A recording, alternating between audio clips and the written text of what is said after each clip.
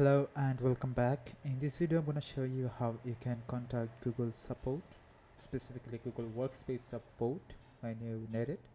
So first of all, you're going to go to admin.google.com and log into your admin account. Admin account would look something like this with your company's name and you're going to log in with your password. So once you log in you'll see an interface just like this.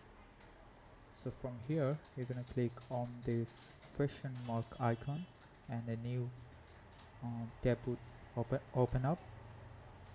So this is the help assistant. Uh, this is not a person it's a um, chatbot. So whatever issue you may have gmail email issue you have to send it here and then it would give you some options or troubleshoot uh, problems for your specific issue. So you will have a few different um, suggestions here. If they are not what you are looking for you can click on continue support.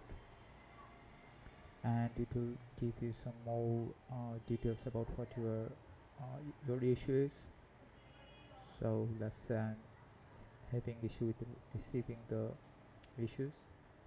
So this this is how it will give you um, solutions to your problems. But again this is not a real person. It's a chatbot and it will give you pre-registered answers for your specific problem. I hope this was helpful. If you need any further help please comment in the comment section and i'll get back to you. Thanks for watching